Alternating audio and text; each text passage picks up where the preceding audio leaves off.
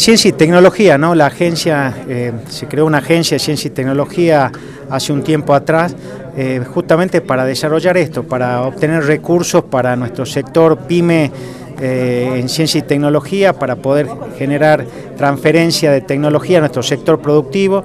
Esta es la segunda convocatoria, ¿no? La primera convocatoria fue casi de 50 millones de pesos y ahora la segunda convocatoria es de 160 millones de pesos, que son fondos no reintegrables, ¿no? que realmente permiten a las pymes nuestras a poder desarrollar un producto y un servicio de calidad.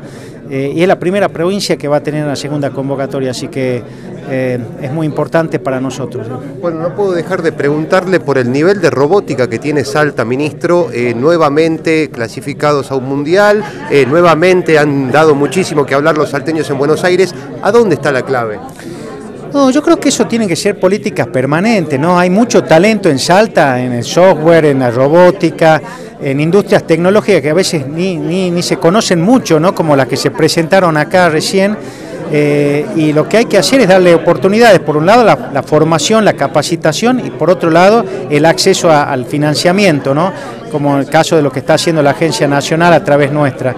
Eh, yo creo que esa es la clave es desarrollar políticas públicas que permanezcan en el tiempo. Nosotros tenemos un programa provincial de robótica que se viene trabajando, eh, hay instituciones privadas como el ITA que ya viene trabajando hace mucho tiempo, también tenemos escuelas públicas, bueno, el caso de, esta escuela de Metán, este colegio de Metán, que también ha tenido eh, premios en, digamos, en certámenes internacionales, bueno, tiene que ver con eso, ¿no? un trabajo permanente y articular lo público, lo privado, trabajar mucho con nuestras universidades, con la nacional, con la católica, con los institutos de investigación que tenemos muchos en Salta eh, y no fragmentar el esfuerzo. ¿no?